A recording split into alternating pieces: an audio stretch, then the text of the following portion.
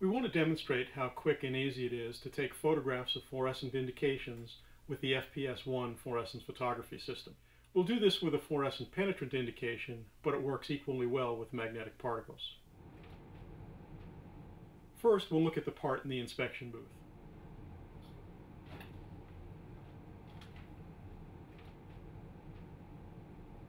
Now we want to take a high resolution photograph of this indication.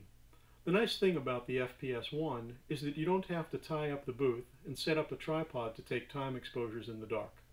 Take the camera system out of the case, turn on the camera and the flash, make sure the camera mode setting is set to C1 where we have the right settings for fluorescence photography pre-configured. Adjust the flash so that it's pointing right in front of the camera. You want to get the light right on the indication. Uh, make sure the flash ready light is on. Come over to the indication, focus in, make sure your focus locks, and snap the picture. Here's the image we just shot in detail. Notice that even though we took it in an open area, it looks like it was shot in a dark booth. You can also put a fluorescent scale in the picture so you get a good measurement of the indication.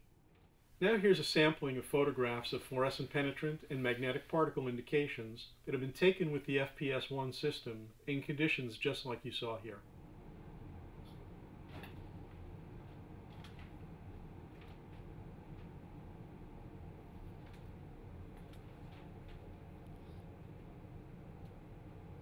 That's all there is to it.